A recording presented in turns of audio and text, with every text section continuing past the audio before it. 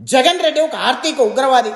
జగన్ రెడ్డికి పరిపాలన అంటే ఏంటో తెలియదు పరిపాలన ఎలా చేయాలో తెలియదు రాష్ట్రాన్ని ఎలా అభివృద్ధి చేయాలో తెలియదు రాష్ట్రానికి పెట్టుబడులు ఎలా తీసుకురావాలో తెలియదు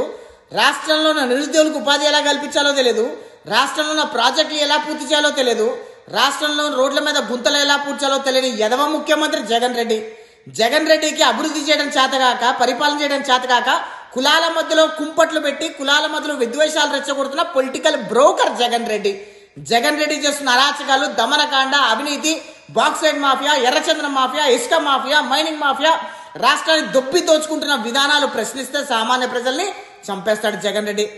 తల్లిని చెల్లిని వాడుకొని వదిలేసిన దుర్మార్గుడు జగన్ రెడ్డి సొంత బాబాయిని అతికిరాక గొడ్డలి పొడితో నరికి చంపించేసిన వ్యక్తి జగన్ రెడ్డి ఇలాంటి ఆర్థిక ఉగ్రవాది ఉన్మాది తండ్రి అధికారం అడ్డు పెట్టుకుని నలభై మూడు వేల కోట్ల రూపాయల ప్రజాధనం దొబ్బేసి పదహారు నెలలు జైల్లో చెప్పకూడదని వచ్చినోడు ఈరోజు రాష్ట్రాన్ని పరిపాలిస్తారంటే సిగ్గుపడు ఆంధ్రుడా